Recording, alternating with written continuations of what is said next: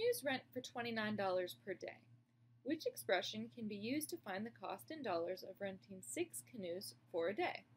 All right, so if we had six canoes times $29, we're trying to break this up into two pieces here.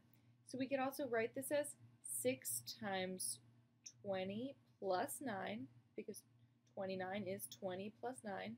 And then we can distribute this 6 multiplication like this. 6 times 20 plus 6 times 9. So we could write it like this, and that is C.